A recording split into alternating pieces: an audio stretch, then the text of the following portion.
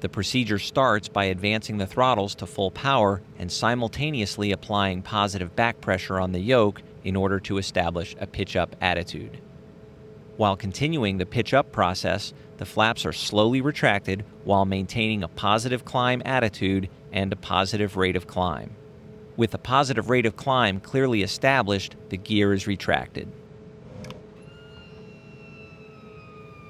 The pitch up should continue to establish a pitch attitude that will result in a climb speed of 88 knots. Since we are already in the holding pattern, a turn to the outbound leg begins.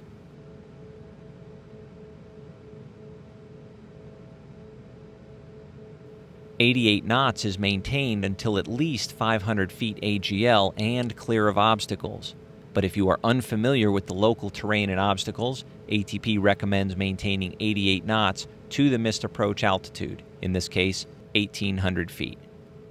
The CDI needle is already set to the indicated inbound course of the holding pattern, in this case, 109.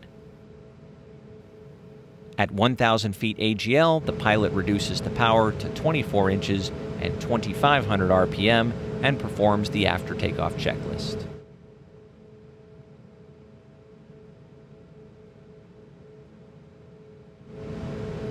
The outbound time is noted when the HSI to from flag changes again to from.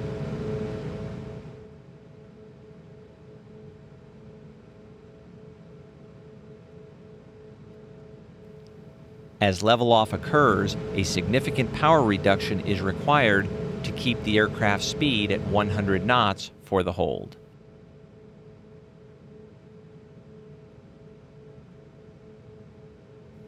Now that the aircraft is established in the hold, the pilot can make the required holding entry call to ATC. After one minute, the pilot turns inbound to rejoin the inbound course.